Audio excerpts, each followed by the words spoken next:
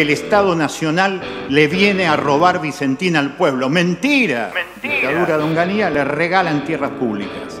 El Estado le da eso a Vicentín. ¿Cuánto pagó Vicentín por eso? Cero pesos.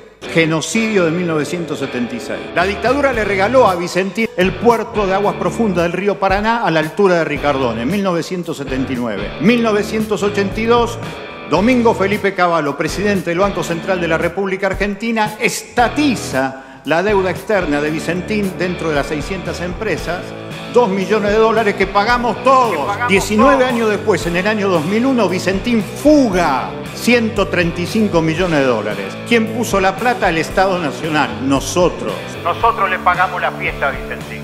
En el año 2003 ya tenía Vicentín 30 millones de dólares de crédito del Banco Nación. 2003. Desde el 2003 al 2015, 120 millones de dólares más. ¿A razón de cuánto? 10 millones de dólares por año.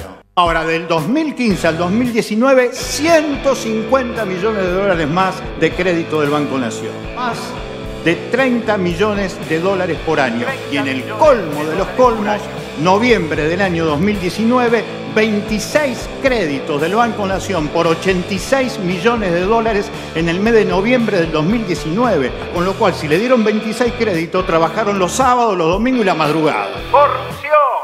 Corrupción del macrismo.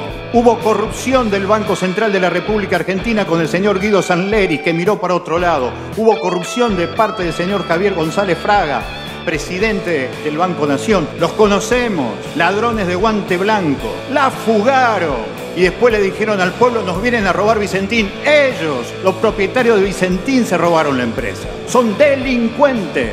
Son delincuentes, ladrones de guante blanco.